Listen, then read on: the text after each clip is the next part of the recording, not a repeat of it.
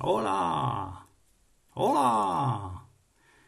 Espera, estamos avisando a más seguidores para que se, para que se unan a tu vídeo. John Carrillo. Hola. Hola. Hola. Hola.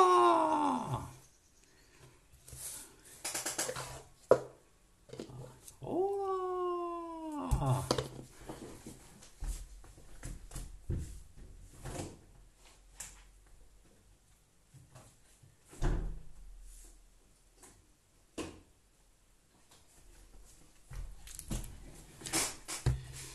Hola. ¿Qué tal familia? Manoli Posada, Isabel no sé qué. Hola desde Buenos Aires. Hola ya. ¿Qué tal? Bueno, vamos al lío. Hola. Bienvenidos esta tarde. Hola desde Chile. A una sesión sobre la masa madre. Espero que... ¡Ay, coronavirus! Ah, no, es broma. Espero que...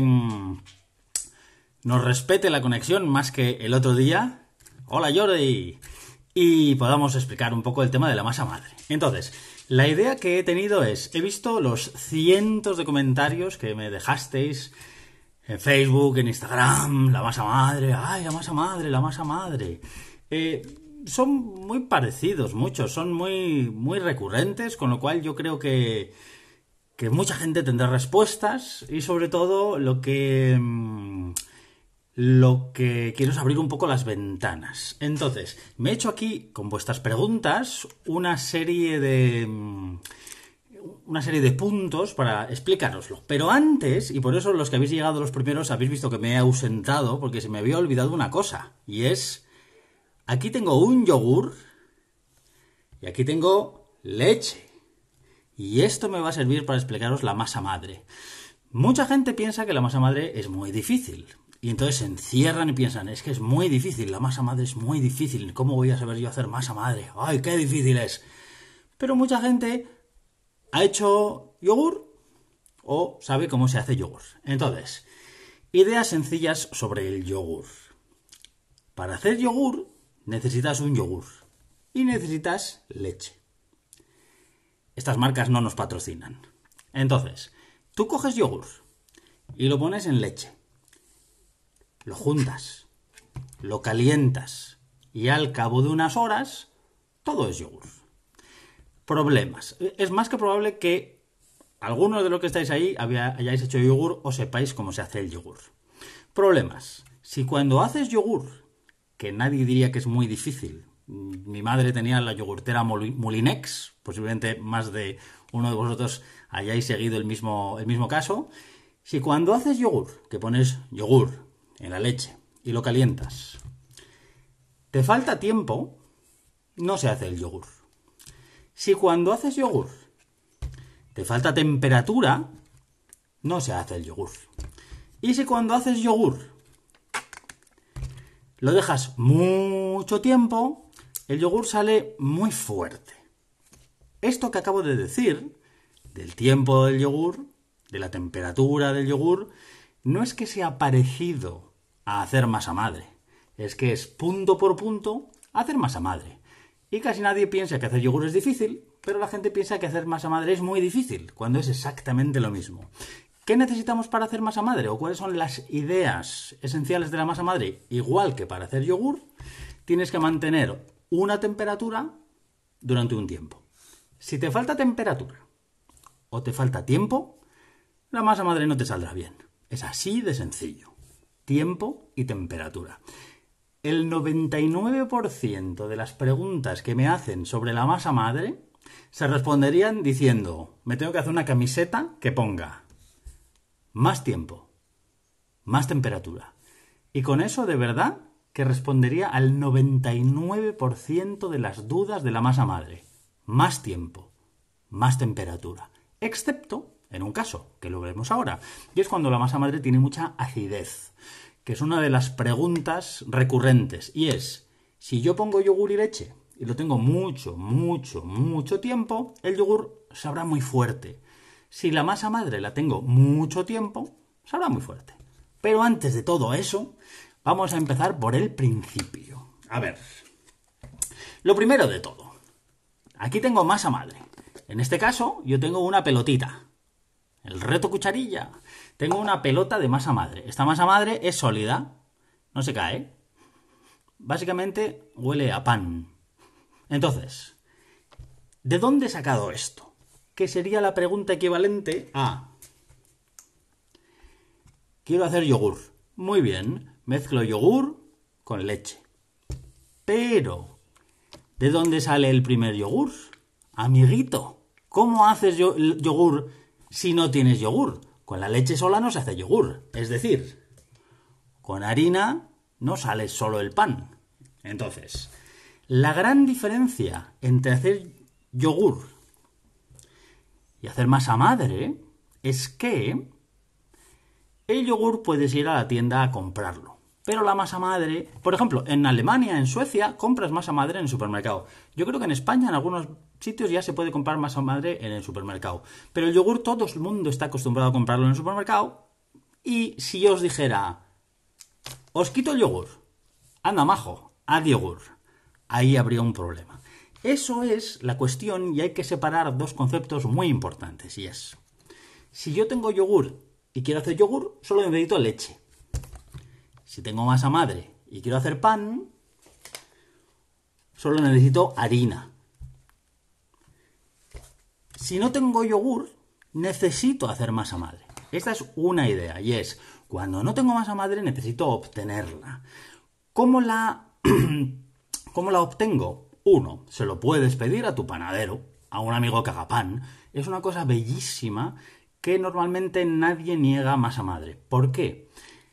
Hace tiempo el pan era un asunto familiar, en los pueblos había hornos comunales, donde sobre todo las mujeres, era un asunto femenino, hacían pan cada semana, cada 15 días. Y a la mujer que le tocaba hacer pan para su familia, tenía que conseguir masa madre de la última que lo hubiera hecho la última semana. Iba de casa en casa diciendo, ha sido Pepita, ha sido Manolita, ¿quién ha hecho masa madre la última vez? Para conseguir una masa madre fresca. Entonces, como a quien tú le pedías masa madre la semana siguiente te la iba a pedir a ti, era muy bonito porque no se negaba nunca masa madre. Este acuerdo tácito, si lo queréis, yo siempre lo he visto respetar entre panaderos. Yo siempre he visto panaderos dar masa madre. A mí nunca nadie me ha negado masa madre y yo nunca he negado masa madre. Es algo muy bonito, es compartir el pan, que es lo más esencial. Entonces, la idea es, ¿tengo un yogur? Muy bien, puedo hacer yogur. No tengo yogur, no tengo masa madre. ¿Cómo lo hago? Hay mil maneras de hacerlo. El año pasado, no sé si, em, si os acordaréis alguno, a lo mejor estuvisteis, hicimos en julio, en el verano, en pleno verano, en España, en el hemisferio norte, no allá, que, es invierno, hicimos lo que llamé el reto cucharilla, que era cómo hacer una masa madre. No lo hice por casualidad en julio, no soy tonto. En julio hace calor. Entonces, la masa madre, las levaduras y bacterias que tengo aquí, les encanta el calor. ¿Qué temperatura? 25 grados, perfecto. De 25 a 30, perfecto. Ahora mismo en mi casa creo que hay 15 grados, 16 grados. Mm, mi problema, básicamente, como os decía al principio, va a ser la temperatura. Quedaros siempre con las dos ideas, temperatura y tiempo. ¿Qué le falta a tu masa madre? En el 99% de los, de los casos eh, le falta temperatura o tiempo. Entonces, para obtener desde cero una masa madre, lo único que necesitas es... Hay mil maneras. Puedes utilizar... Yo a veces hago vino. Entonces, cuando hago vino, aplasto las uvas y el mosto cuando empieza a fermentar, le echo harina y fermenta y hago un pan. Y está hecho con, mosto fermentando. En algunos sitios ponen eh, frutas eh, a remojo, eh, yogur, miel, cosas. De la manera más sencilla y minimalista, lo único que necesitas es un poco de harina. ¿Qué harina? en sentido estricto, da igual porque el 80% de la harina, la gran parte de la harina es almidón, que es azúcar, que es lo que les interesa a las levaduras y bacterias que pueblan la masa madre. Entonces, ¿Puedo usar harina? Atención lo que voy a decir. Atención lo que voy a decir. ¿Puedo usar harina integral? Perfecto. Blanca? Perfecto. ¿Por qué sigue habiendo azúcar? Atención amigos sin gluten. ¿Puede usar harina sin gluten?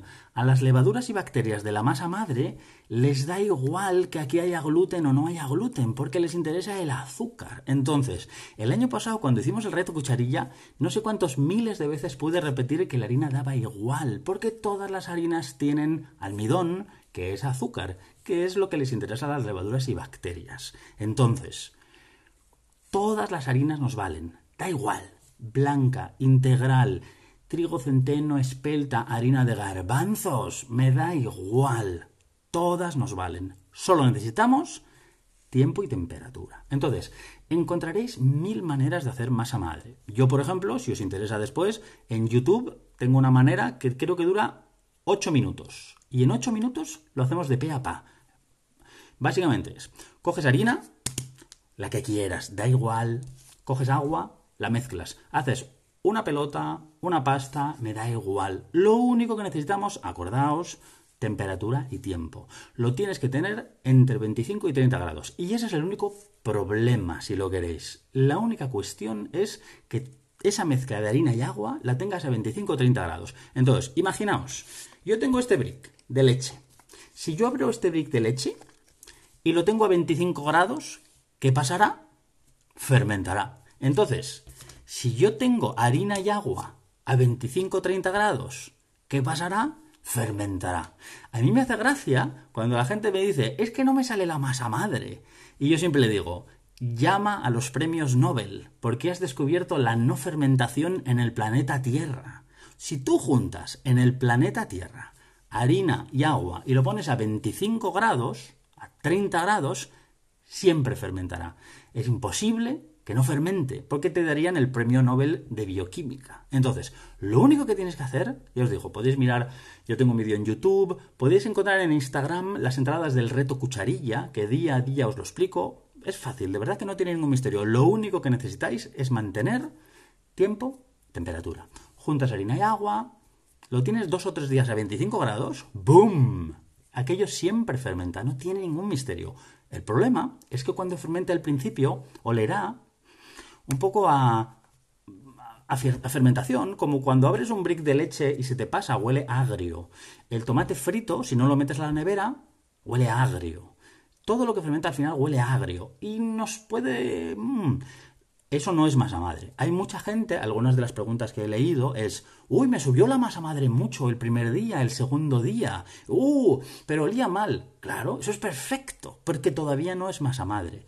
Lo que tienes que hacer a partir de ahí, juntas harina y agua a 25 grados en un sitio cálido, eh, lo que tienes que hacer es que haya esa primera explosión, al de uno, dos, tres días fermenta, ah, mm, agrio, lo que queráis, me da igual. Y ahí echamos harina y agua una vez al día, lo revolvemos y lo seguimos teniendo en un sitio cálido. Y no hay más misterio. Fermentará.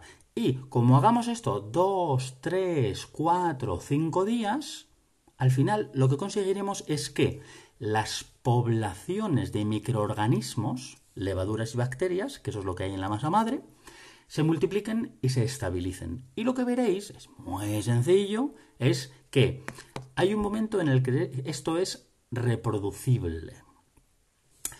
¿Qué quiero decir? Que tú, al de 4, 5, 6 días, le has echado orina y agua y ves que dices, anda, me pasó igual ayer. Yo ya sé que le eché harina y agua y al de 2 o 3 horas subió. Uy, igual que ayer. Ya lo tienes. Tienes un cultivo de levaduras y bacterias que es predecible. Es decir, tienes el primer yogur. Es así de sencillo. Yo, de hecho, si os diera leche, yo os diría, cread un yogur.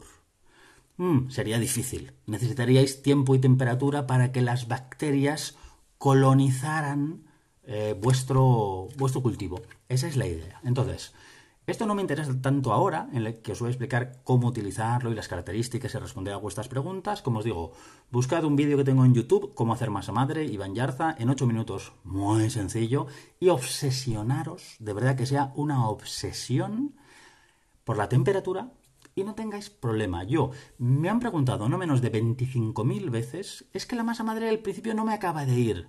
siempre les he dicho tiempo y temperatura. Y al de una semana me dicen, es verdad, era tiempo o temperatura. Siempre es así, no tiene ningún misterio. Entonces, si haces una pelotita, 5 gramos de harina y 2 de agua, será sólida. Pero si haces una pastita con igual de harina que de agua, será líquido. Y pensad que la harina y el agua son inmiscibles. Al final se separarán. Y eso es totalmente normal, no pasa nada. ¿De acuerdo? Lo vuelves a mezclar y listo. Entonces, yo suelo recomendar para evitar problemas y que la gente se vuelva muy loca, hacer la masa madre en sólido. Es decir, con más harina que agua. Ya está. De esa manera no se, no se, no se separa, no pasa nada y duermes más tranquilo. Con lo cual, ningún problema. A lo que vamos a ir es a em, cómo, una vez que tienes tu masa madre, cómo la conservas. Que esto es muy importante para que esté bien y cosas que a la gente le vuelven un poco locas. Para conservarla, puedes conservarla como te dé la gana. Puedes hacer una pelotita o puedes hacer un purecito. ¿Qué pasa cuando haces un purecito? Mirad, esta, si me hubieran dado un euro por cada vez que me han hecho esta pregunta, sería multimillonario. Y es, uy, me ha salido un agua marrón. ¡Ay! Se ha muerto la masa madre. Es terrible. Se ha separado. Me ha salido un agua marrón. ¿Qué la voy a hacer? Si me hubieran dado un euro por cada vez que me han dicho esto, sería multimillonario. Entonces, si tú haces una pastita, un purecito, al final el líquido se separa y con el tiempo se queda oscuro. No pasa nada, no pasa nada. Yo lo que haría sería, tiraría este líquido ponzoñoso, que de hecho huele un poco raro. No huele mal, de hecho esto huele si os gusta la cerveza, esto huele a porter en este momento. No está nada mal. No. Entonces, yo tiraría el liquidito y empezaría con lo otro. Para quitarte problemas, haz una pelota sólida, doble de harina que de agua. Fácil. Piensa más allá. La harina blanca es más pobre en nutrientes y por decirlo así, es una harina más lenta que la harina integral. La harina integral es como gasolina que arde más. Si yo quiero mantener mi masa madre durante mucho tiempo, tal vez me gustaría que la harina de la masa madre fuera blanca y tal vez me gustaría que la masa madre fuera sólida. Mientras que, si sé que la voy a utilizar más rápido, me da igual porque sea integral o que sea líquida. Esto es una idea. Entonces, si quieres conservar tu masa madre durante más tiempo, yo lo haría eh, sólido y lo haría en blanco. Da igual. Mm, como hemos dicho, harinas nos da igual. Blanca integral con gluten, sin gluten. A las levaduras y bacterias les interesa el azúcar. Eso es lo, fundamental. No tiene más. Conservar durante más tiempo todavía. Si quieres, por ejemplo, eh, es muy normal en sitios donde hace calor. Eh, en la mitad de España, de junio a septiembre hace un calor terrorífico y la gente está de vacaciones. A lo mejor no haces pan de mayo a octubre, sería normal que de mayo a octubre no hicieras pan. Atención, puedes coger tu masa madre y congelarla. La metes al congelador, al freezer, no a la heladera, al congelador y la tienes ahí cuatro o cinco meses. Cuando vuelvas, la recuperarás. Fijaos, esta está muy. Mmm, está fantástica, esta masa madre. Si yo la tengo cuatro meses en la nevera a cuatro grados, se degradará. La podré traer a la vida, ahora os contaré cómo, pero se degradará. En cambio, si la tienes cuatro meses en el congelador, le da igual. Como si la tienes dos años. No pasa nada. Puedes tener dos años congelada tu masa madre en el congelador y no pasa nada. Entonces, conservar durante un tiempo sólido, blanco, es más firme. Si la quieres conservar durante muchísimo tiempo, que te vas a ir un año de expedición a Marte, congélala. Y cuando vuelvas, estará esperándote al congelador en un botecito cerrado y listo. Cuando la quieras devolver a la vida, le echas harina, agua tibia y volver a la vida. Una noche, un día, sin un problema. Más maneras de conservar. Puedes secar tu masa madre. Coges la masa madre, en líquido mejor, la extiendes sobre una hoja de papel de cocina, de, hornear, papel de horno, la dejas un par de días y se seca. Guardas esos, esos copos. Otra manera, puedes hacer, coger la masa madre, eh, harina, y más harina, y más harina, y más harina, y más harina, hasta saturar tu masa madre de harina y hacer migas. Es una buena manera. Como no hay agua, ya no se degrada la, masa madre. Entonces conservamos con estas, con estas ideas.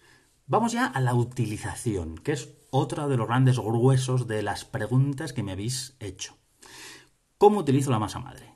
Dos cuestiones. Si yo tengo mi masa madre en la nevera durante mucho tiempo, ¡uy! que le sale un líquido marrón asqueroso, eh, vamos a morir todos, es el fin del mundo. Hemos dicho que no pasa nada, es normal.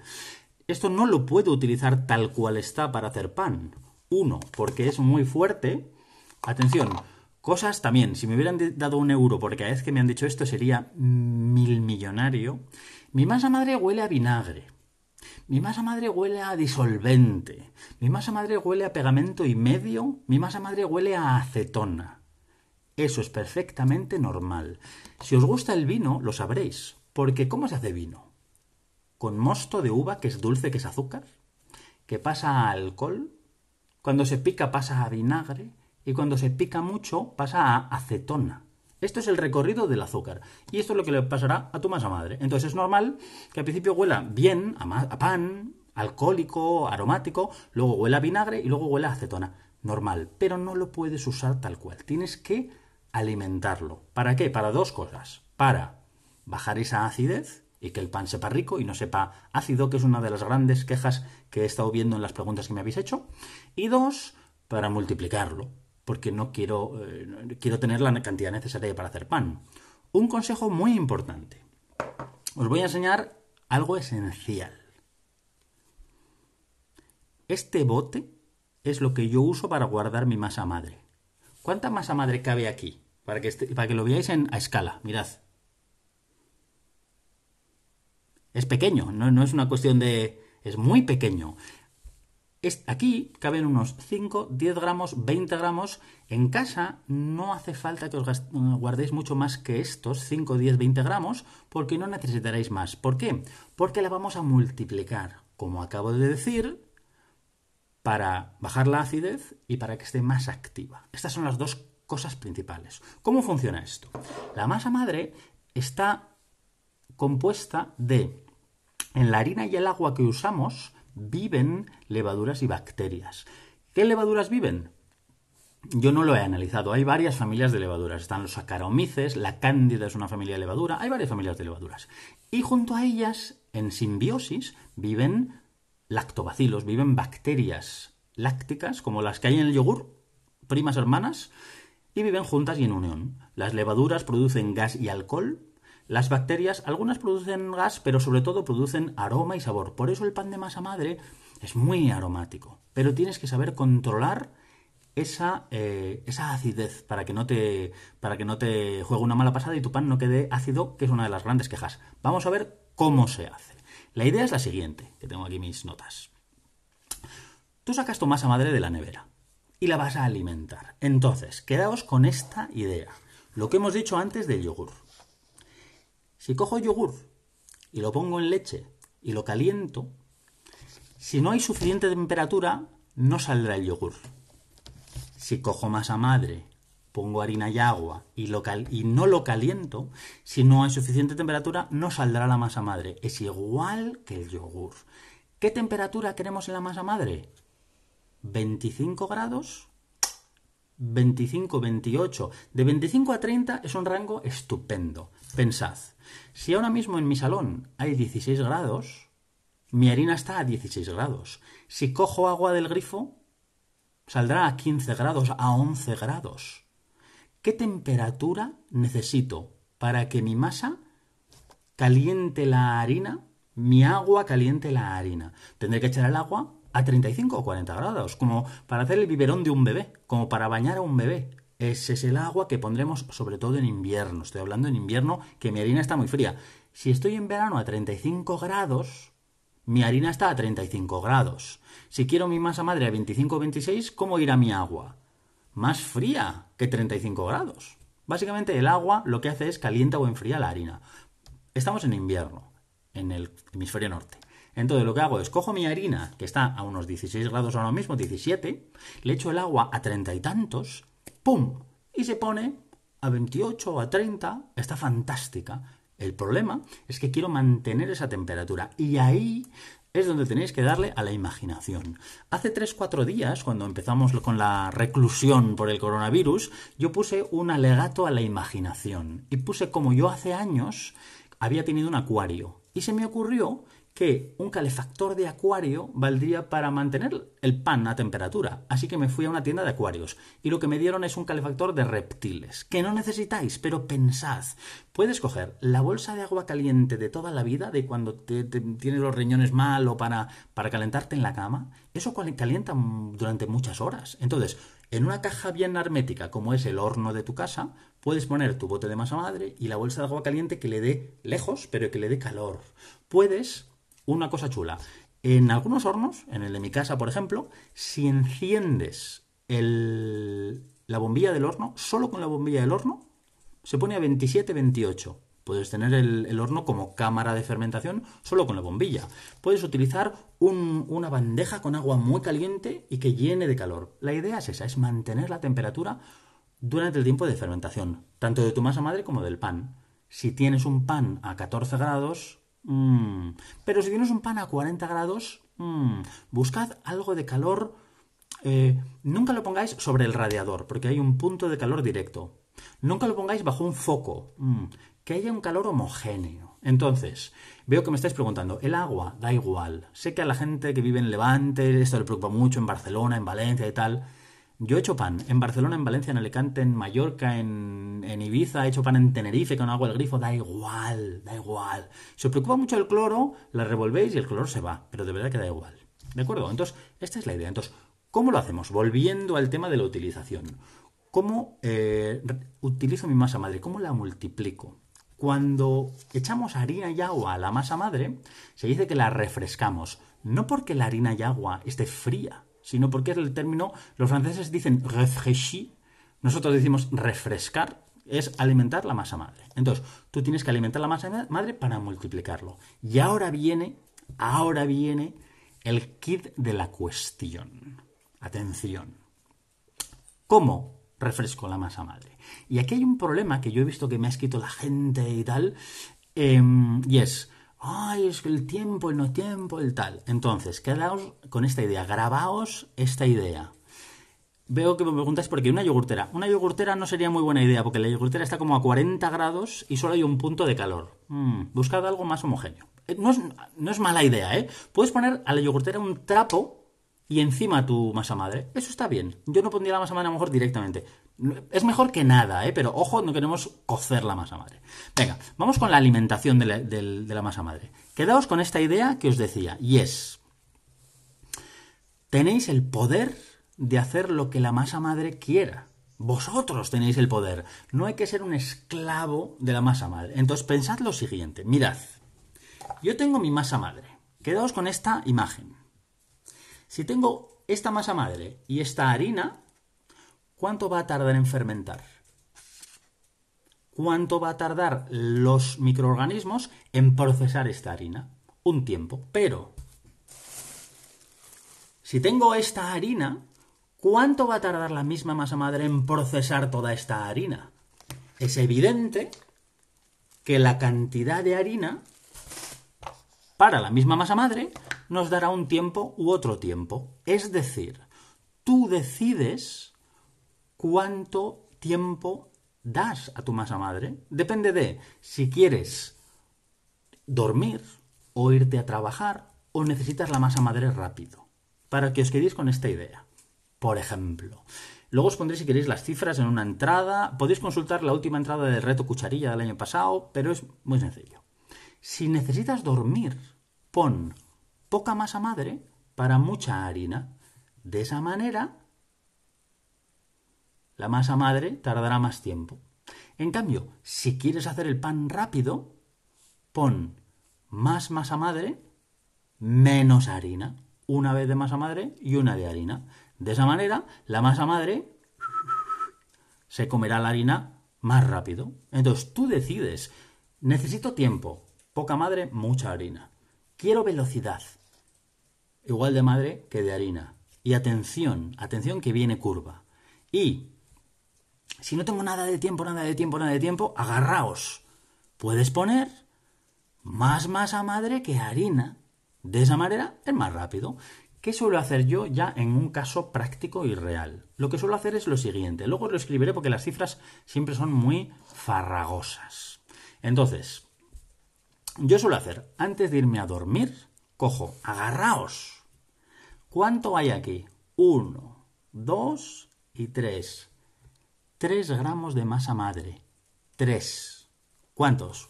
Uno, dos y tres. Tres. Y se los pongo a, para irme a dormir, 20 veces su peso en harina, es decir, 60, más o menos. 3 gramos de masa madre es esto, un garbancito. 60 gramos de harina y le pongo la mitad de agua, 30. Por poner un ejemplo, quedaos con la idea de poca madre, mucha harina. 3 gramos, 60 y la mitad, 30 de agua. ¿Qué hago con 60 de harina y 30 de agua? Es una pelota. Es exactamente esto. Lo mezclo todo, lo tengo en un sitio tibio y me voy a dormir, me voy a la cama. Atención, sé que esto os va a sonar un poco extraño, pero en el peor de los casos, si vivís en un sitio muy frío, no pasa nada por meter la masa madre en un bote hermético y llevaosla a la cama y meterla debajo del edredón, debajo de la cama, con vosotros. Porque nosotros somos máquinas de calor. Estamos a 36 grados todo el día. A lo mejor os suena raro alguno, pero en el peor de los casos podéis dormir con vuestra masa madre. Es muy bonito. Esto en el peor de los casos. Espero que podáis encontrar métodos para crear calor. Pero es la misma idea. ¿Entendido? Entonces, me levanto por la mañana, había puesto 3 gramos de masa madre, 60 de harina y 30 de agua, 93.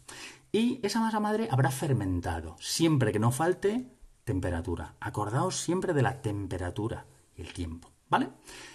¿Utilizaré esa masa madre para hacer pan? No. ¿Por qué? Porque llevaba mucho tiempo en la nevera dos semanas, tres semanas, no pasa nada, no, tenéis por qué sacarla de la nevera, no, tenéis por qué alimentarla, alimentarla cuando la uséis. Imaginaos que no he hecho pan en cuatro semanas, pues se queda así. Y no pasa nada. Esa primera alimentación que he hecho durante la noche está bien, pero no será suficiente. Así que voy a darle, ya por la mañana que me he levantado, una segunda alimentación para que esté lista. Y atención la gran diferencia. Por la noche he cogido 3 gramos de madre, y 60 de harina, es decir, 20 veces su peso en harina, para dormir 8, 10, 12 horas. Pero, por la mañana quiero hacerlo rápido. ¿Qué hago? Tengo 90 gramos de madre, ¿os acordáis? 60 de harina, 30 de agua, 3 de madre, 93. Y le pongo 93 de harina, una sola vez. Y el agua le puedes poner la que quieras. Si le pones la mitad, 45, será sólido. Si le pones su misma cantidad, 93, será más líquido. Esto me da igual, lo explicaré después, la diferencia entre sólido y líquido. Pero esto ahora mismo me da igual. Lo que quiero que penséis es que por la noche he puesto poca madre y mucha harina para dormir 8, 10, 12 horas. Quien dice noche, ¿qué dice? Una jornada laboral.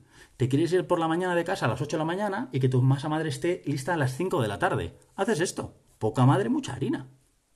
Por la mañana quiero hacer pan ya pongo la misma cantidad de madre que de harina, echo el agua a unos 35-40 grados y atención, en dos horas, tres horas, aquello ha fermentado y lo tienes listo para hacer pan. Sé que las cifras son un poco eh, farragosas, por eso no os olvidaos de las cifras, quedaos con la idea. ¿Quieres estar mucho tiempo durmiendo o trabajando? Deja que la masa madre se entretenga. Ponle a poca madre mucha harina. ¿Que quieres hacer el pan rápido? Pon igual de madre que de harina. Y si tuvieras mucha prisa, pon más masa madre que harina. Esa es la idea. Yo lo que hago es así, es cojo tres ramitos por la noche, 60 de harina, 30 de agua, me voy a dormir. Al día siguiente ya tengo 90 de masa madre que ha fermentado, todavía no lo uso. Le pongo 90 de harina, 45 de agua, la mitad la hago sólida, me da igual. Y el de 2-3 horas está listo. Acordaos una cosa muy importante. Tenemos 90 de madre, 90 de harina, 90 de agua, si queréis, 270. Me da igual, las cifras me dan igual. Quedaos, tenemos 200 y pico. Es muy importante que de esos 200 y pico me guarde para la siguiente vez. ¿Cuánto me tengo que guardar para la siguiente vez? ¿Con cuánto he empezado esto? con 3 gramos. Entonces, para la siguiente vez, ¿qué me tengo que guardar? Por seguridad me puedo guardar una pelota de 10 o de 15, pero no me hace falta más. Entonces, guardar medio kilo de masa madre no vale para nada porque lo acabarás tirando. Entonces, guárdate un poquitín, que es lo único que necesitas si haces un par de refrescos. Hay gente, lo sé, que hace pan todos los días. Si haces pan todos los días, con un solo refresco te valdrá. Entonces lo que necesitarás será 100 gramos de madre, 100 de harina, pum. Entonces yo me guardaría 100 gramos o 200 gramos. Pero si haces pan cada semana o dos semanas, con que te guardes 5 o 10 gramos, te sobra. Como os digo, luego os escribiré para que lo veáis. Lo podéis encontrar en la última entrada del reto cucharilla del año pasado, si la buscáis en hashtag reto cucharilla. Pero quedaos con la idea.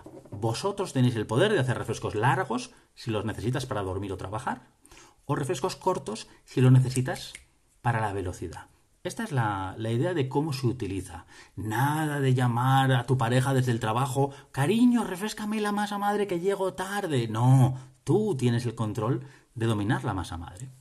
Otra de las preguntas que más ha salido y es, ¿cuánta masa madre utilizar? Esto es una cosa que a la gente le obsesiona. ¿Cuánta masa madre utilizo? ¿Cuánta masa madre utilizo? Y es una, una cosa muy interesante. Y es, cuando tú usas levadura, la levadura es un agente externo. Por decirlo así, es como si tengo agua y le pongo una pastilla de caldo, Starlux, Magi. No puedo poner las pastillas de caldo que me dé la gana, porque sería horrible si le pongo 25 pastillas. Puedo poner una, media, pero, ¿y si tengo caldo ya hecho y tengo agua? ¿Cuánto caldo puedo echar al agua para hacer caldo? No hay límite, porque es lo mismo. Entonces, cuando yo hago pan de masa madre, esto lo cambia todo, porque la masa madre ya es pan. Entonces, atención amigos, no hay límite en su utilización. Esta es la gran diferencia entre hacer pan con levadura y con masa madre. Con levadura no puedes usar la que te dé la gana. Con masa madre sí que puedes usar la que te dé la gana. En España, por ejemplo, la mayoría de los panaderos utilizan para kilo de harina 100 o 200 gramos de madre.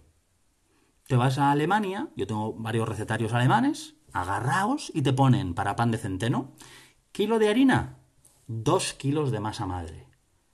Y puedes decir, ¿cómo? ¿Se puede utilizar más masa madre que harina? Claro, sin ningún problema, porque ya la masa madre ya es pan. Y el caso máximo es la chapata. La chapata clásica, la chapata original, por decirlo así, es un pan italiano de final del siglo XX, no es un pan antiguo. De hecho, se hace con un fermento, con una madre de levadura. Se llama la viga, es una madre sólida.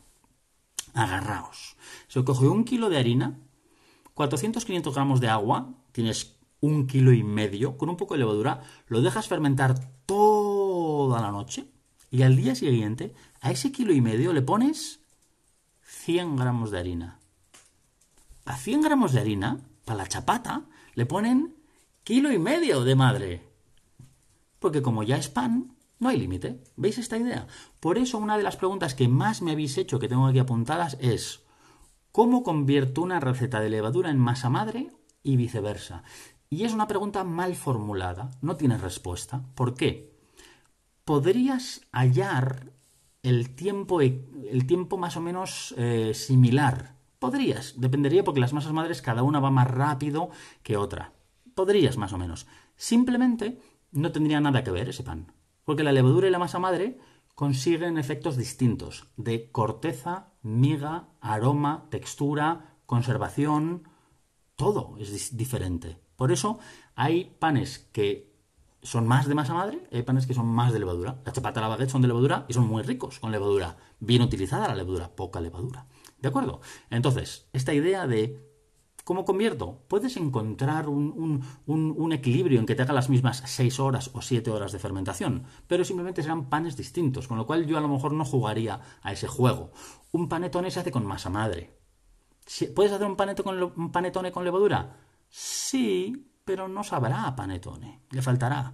Un pan de centeno alemán se hace con masa madre. ¿Lo puedes hacer con levadura? Técnicamente hoy sabemos que depende de la harina, lo podríamos hacer. Yo he hecho pan 100% centeno con levadura, se puede hacer, pero le falta el alma. Entonces, ¿puedes hacer una baguette con masa madre? Sí, se puede hacer, pero la, la, corteza abarquillada de la baguette es fruto de la levadura, que hace una corteza algo más fina que la masa madre. Es un poco la, es un poco la idea. ¿De acuerdo? Más preguntas que ha habido por aquí. Ah, una cosa que la gente le obsesiona. ¿La masa madre líquida o la masa madre sólida? Si sois muy profesionales, muy profesionales, alguien eh, me ha preguntado antes por aquí algo del pH y no sé qué. Si sois muy profesionales, posiblemente ya sepáis, con lo cual, mm, si no sois muy profesionales, yo no me preocuparía tanto, de verdad. Utiliza la masa madre como te apetezca, como te sea más cómoda. Las dos tienen sus ventajas. La líquida la revuelves con una cuchara y no te manchas. La sólida es muy chula porque es más estable. Ahora bien, si nos ponemos en un poco técnicos, sí que suceden cosas entre una masa madre sólida y una masa madre líquida.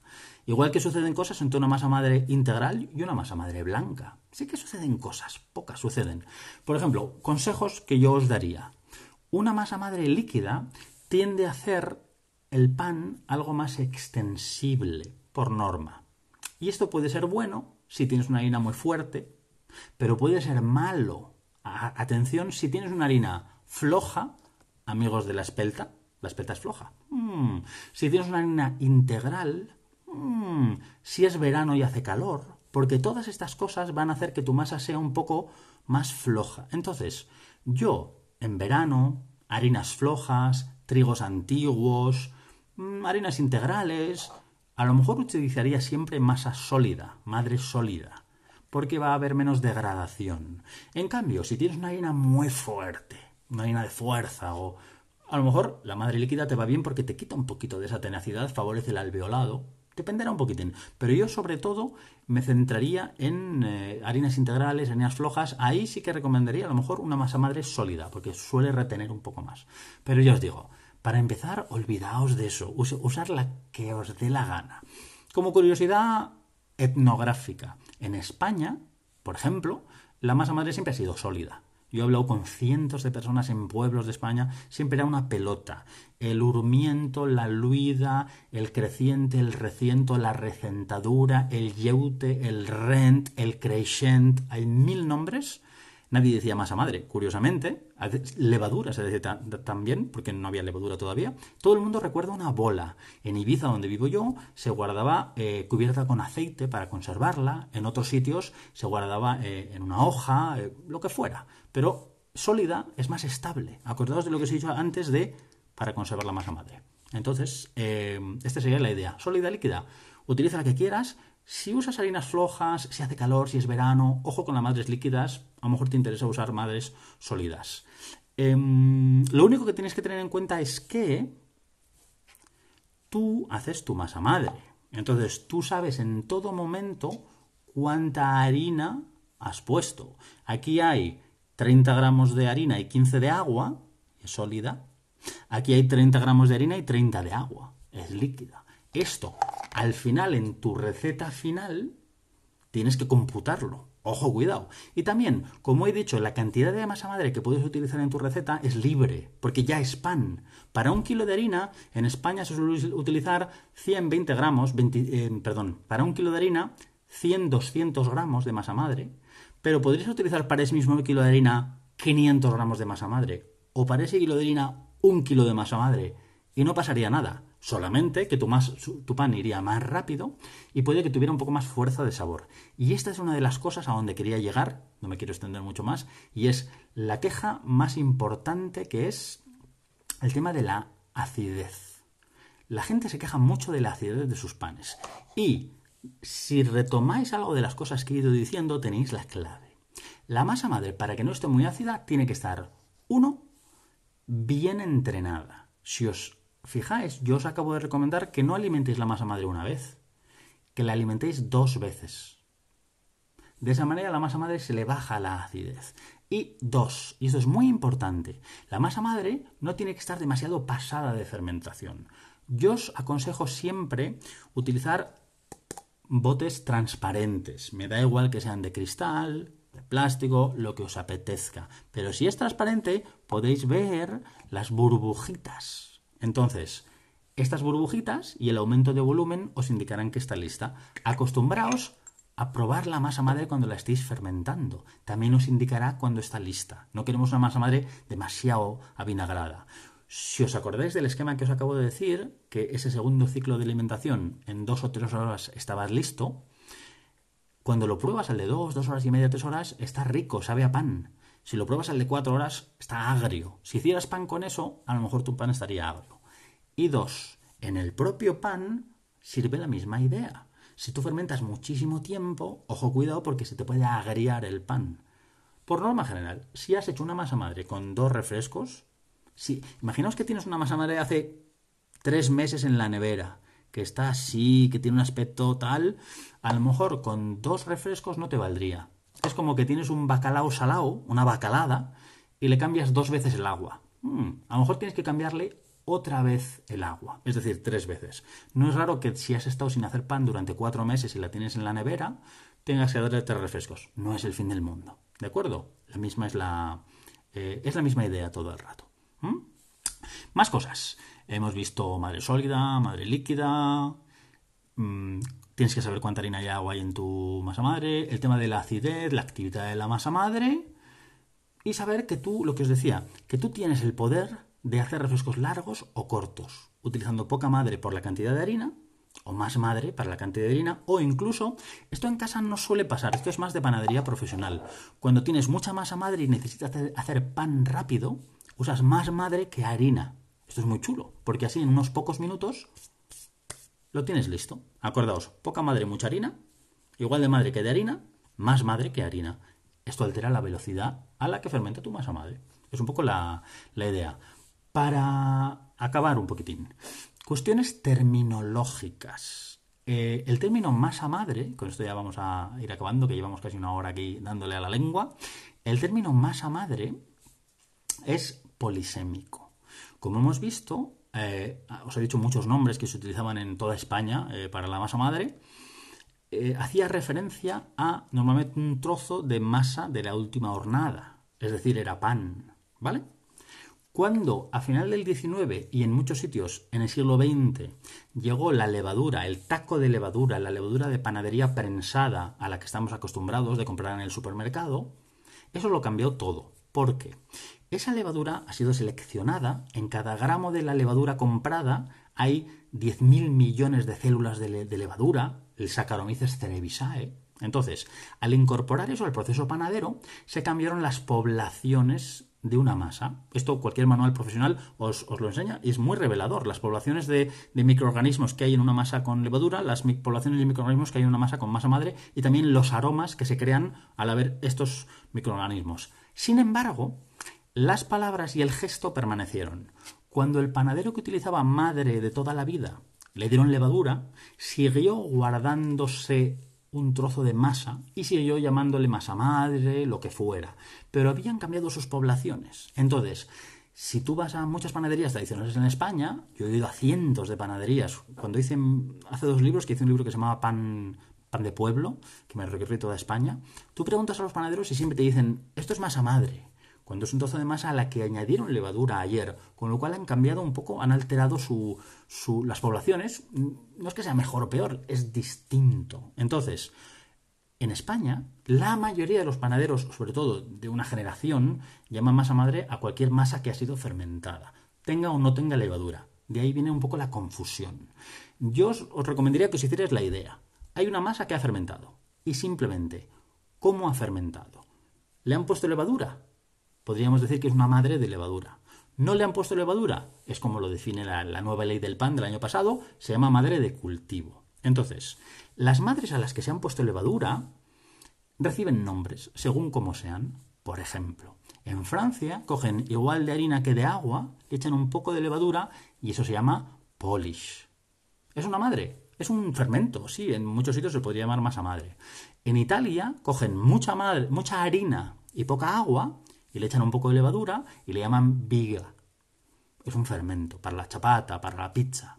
¿Entendía esta cuestión? Entonces, la, quedaos con la idea. Tú puedes fermentar, hacer una madre, con las levaduras y bacterias que hemos hablado antes, que hemos obtenido espontáneas del entorno, o bien puedes inocular la levadura. Simplemente que cambiarán las poblaciones, cambiará el sabor, el aroma, cambiará la textura y cambiará, será un pan distinto. Por ejemplo, un polish, igual de harina que de agua, o a veces más agua que harina y un poco de levadura, 12, 16 horas fermentando, es maravilloso para una baguette, para un croissant, para piezas clásicas de la panadería francesa, de polish. Fantástico.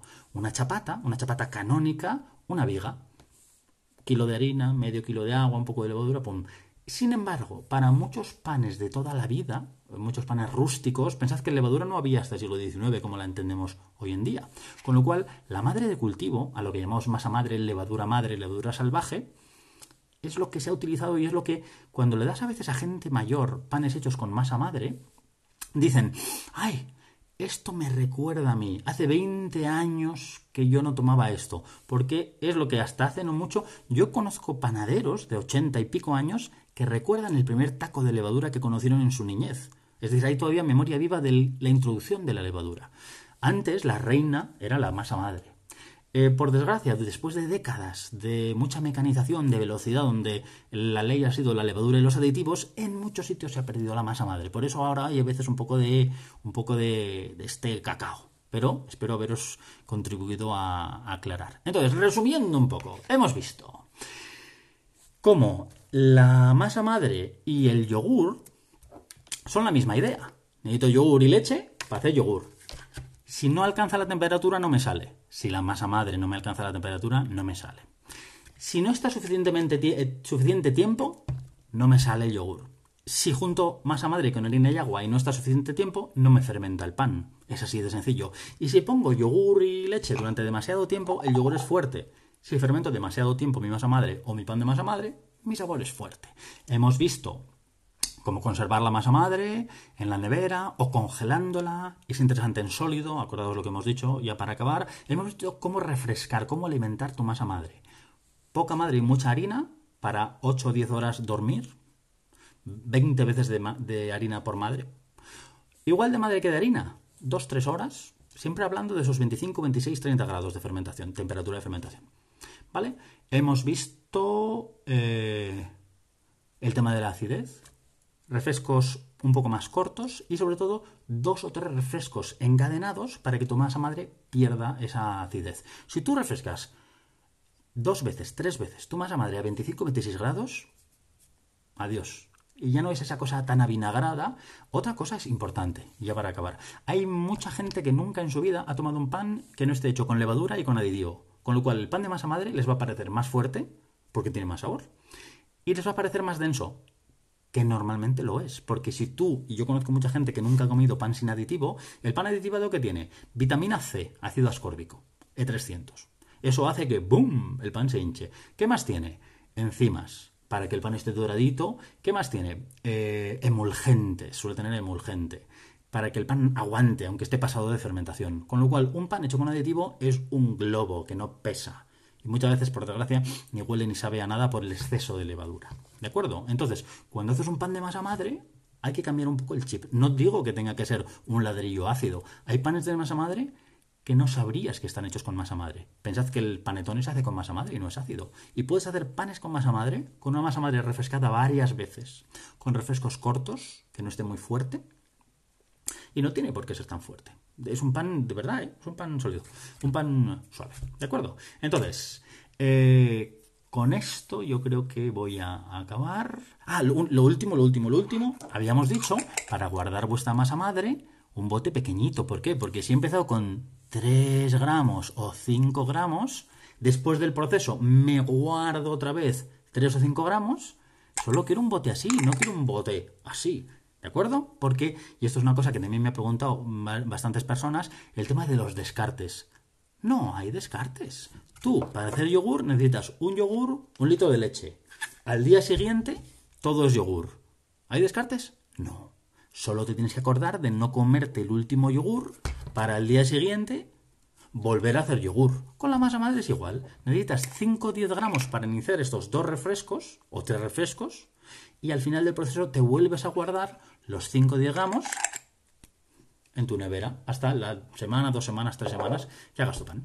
Entonces, espero que os haya servido esta, esta lección de masa madre. Sé que las cifras, por eso no me he querido centrar en las cifras, da igual las cifras, quedo con la idea de lo que os he ido diciendo.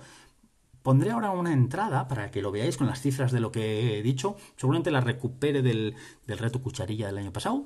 Y solo para acabar, también os lo diré luego, podemos hacer eh, este tiempo que tenemos que estar aquí metidos en casa. Esperemos que sea muy útil para todos. Eh, ¿Alguna otra sesión de estas sesiones eh, Doctor Pan? Y he estado pensando, podemos hacer una de horneado. Yo creo que el horneado es una cosa donde la gente falla mucho, hay que hornear bien en casa. Podemos hacer otra de manipulación. Podéis sugerirme eh, qué sesión os interesaría. El tema de hacer una masa madre, como hice el reto cucharilla el año pasado, estoy dudando, porque el año pasado le hice en julio, como os digo, porque hacía calor y sé que a la gente le iba a salir bien sola, porque teniendo 26 grados que hay en España en julio, la masa madre sale ¡pum! sola. Ahora que en muchos sitios todavía hace fresquete porque es invierno, técnicamente hablando, sé que mucha gente no le va a salir porque le va a faltar calor solamente por eso. Y eso le va a llevar a la frustración. Por eso estoy dudando. También lo puedo decir, ¿eh? es como si no mantienes el calor, no te saldrá. Es así de sencillo. Duerme con tu masa madre. Entonces, podéis sugerirme que otro, otro tipo de lección de Doctor Pan podemos hacer estos días. Espero que os haya servido de, mucho y también hay que practicar. Eso es así, ¿eh? Nadie hace a lo mejor eh, paella ni el mejor arroz con leche el primer día. Tenéis que practicar, sin más. Pero teniendo cuatro ideas en la cabeza. ¿De acuerdo? Ahora grabaré esto eh, para que esté disponible durante por lo menos 24 horas en los stories, para que lo podáis consultar. No sé si se puede, estoy mirando a ver si se puede grabar de otra manera. Incluso el siguiente vídeo a lo mejor lo podemos hacer en YouTube para que se pueda grabar para consultarlo más, más adelante. Así que, Daniel, hola, que no te había visto por ahí. Adiós, adiós. Eh, hasta la próxima, amigos de la masa. Adiós, adiós, adiós. adiós.